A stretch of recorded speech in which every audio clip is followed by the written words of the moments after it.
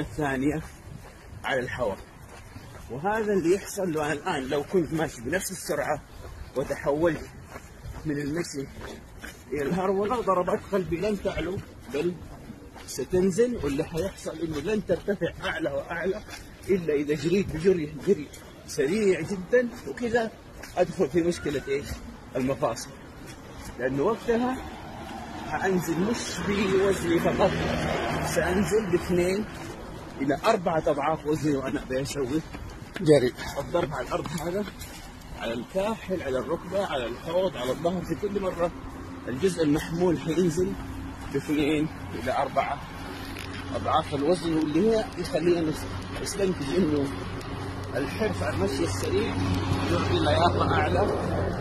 ماذا سماه الرسول صلى الله عليه وسلم؟ وهذا الذي سمي بالنسلان. النسلان مشي في الديب لا يكاد يلمس الأرض. لكنه لا يقفز الذئب يمشي يمشي يسموه النسلان وهو المشي السريع.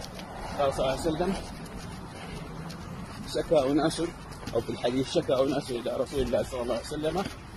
فدعا لهم وقال عليكم بالنسلان هم شكوا له إيش؟ شكوا له تعب السفر تعب المشي. فاشتكوا له من المشي اوصاهم بالمشي. إيش؟ النسلان السريع. السريع. فقالوا فانتسلنا فوجدناه وهو مشي سريع بخطى قصيرة. بخطى متلاحق. مو بالضرورة تفتحها.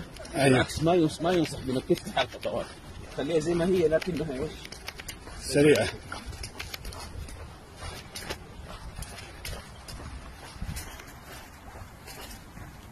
هذا التحدي هو المطلوب لأن في الأخير.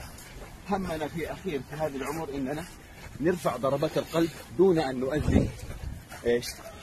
الأعضاء الجسدية ولا جسم في المفاصل. ف...